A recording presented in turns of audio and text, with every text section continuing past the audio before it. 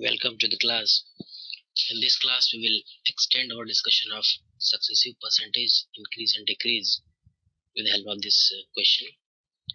In the part one of these uh, uh, part one of this class, we have discussed the concepts and the underlying uh, multiplying factor, the, the basic concept and the underlying multiplying factor, and I've seen that how these multiplying factors are applied to solve this kind of problem. Just to remind you that in case uh, uh, if you have to calculate uh, if you have to see the multiplying factor for these percentage increase then here it is written. And for percentage decrease these are the multiplying factors. You'll see how these multiplying factors can be used to solve this question. So first read this question a housewife spends 20% of her monthly budget on food, 10% of the rest on medicine, and 10% of the rest on laundry. And finally, she is left with rupee 1296. Then calculate her monthly budget.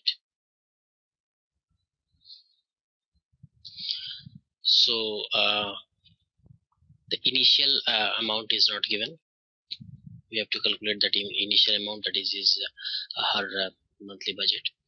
So in the previous class uh, we have seen that when we have to assume some value then it is better to assume in a multiple of 100 so here since we have to assume uh, the monthly budget so we can assume at 100x this is the monthly budget.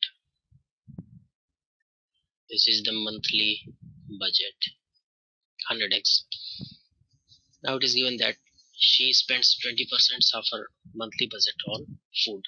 So out of 100x she spends 20 percent on foods. So she is left with if 20 percent is spent then she's what whatever she is left with can we get from multiplying it with a suitable multiplying factor that is 0.8 so she is left with 80x then 20% of her monthly budget on food. 10% of the rest on medicine. Now she is left with 80x now 10% is spent on medicine. So she is left with how can we get the amount she is left with multiply this initial amount with a suitable multiplying factor. For 10% decrease the multiplying factor is 0.9 that means multiplying 80x by 0.9 we can get the amount she is left with. So she is left with 72x okay. Now it is given that 10% uh, of the rest on medicine and 10% of the rest on laundry. Now she is left with 72x again she spends 10% on laundry.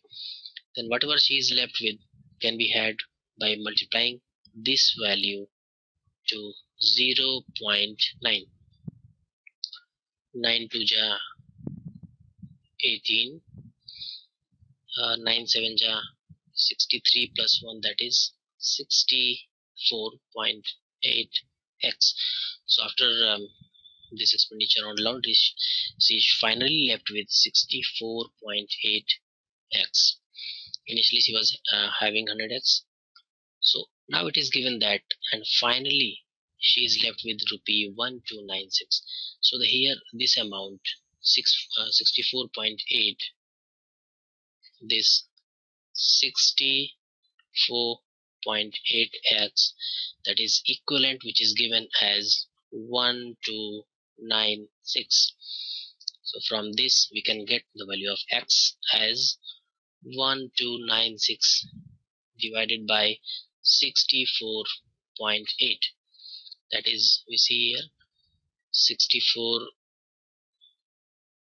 uh, yeah it is basically 20 times because 648 into 2 is 1296 so it is 0.64.8 so here x the value of x is 20 so we, since we know the value of x so the monthly budget her monthly budget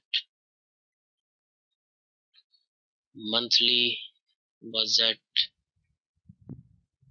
will be 100x that means 100 multiplied by the value of x which comes out to be 20 is how much 2000 our monthly budget is 2000 so we have seen that uh, with the help of this multiplying factor we have solved this problem so easily. We will see more example in the next class